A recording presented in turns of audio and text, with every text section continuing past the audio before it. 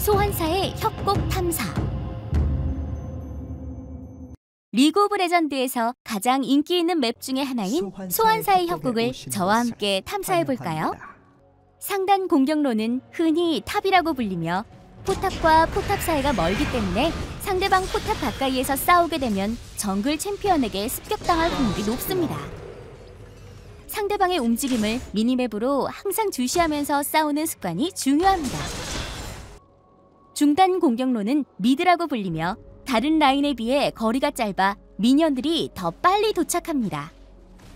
그래서 이 공격로를 맡은 챔피언은 다른 공격로에 비해 빠른 level up을 하게 됩니다. 그런 이점을 살려 모든 라인에 지원을 가서 도움을 줄 수도 있습니다.